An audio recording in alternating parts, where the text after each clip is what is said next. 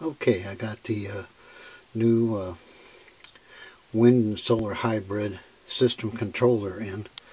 You can see she's registering some uh, voltage here, 13.9 volts.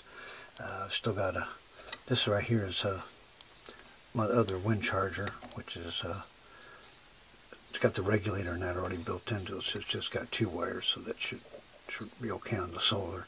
And then this one right here, once I get the other wiring run, takes three wires for uh, runs from the AC and then this controller takes it down to the DC. So, but she's in, she's working, that's all that counts. Say goodnight, Mel. Good night.